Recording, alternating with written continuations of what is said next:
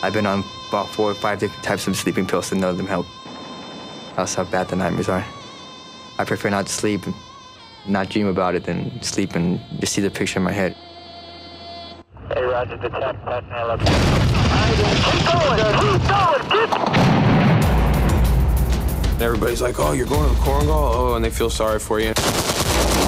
Deadliest place on earth, the Korengal Valley. We're not ready for this. I'm thinking, what are we doing? First friend I lost was Restrepo. Where Restrepo died, we shot off flares. In the middle of the night, we put up a fire base. They realized once they could not knock off OP Restrepo, we had the upper hand.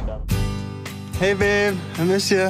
It takes a little bit out of you every time you see one of your boys get hurt. It's really like a big family.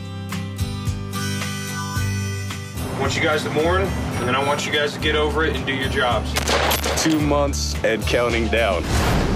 I just don't like the way it is. I don't like how it feels right now. I kill a bunch of bad guys. In the same instance, I'm, I'm killing five locals. I need to know better so that I'm not killing these people. I hit the bottom right of the building.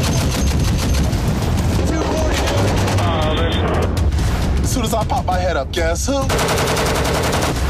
Nobody's gonna help you. You're in no man's land. The fear is always there, especially at night when you can't see what's coming at you. Are you going to go back to the civilian world? I have no idea. I still obviously haven't figured out how to deal with it inside.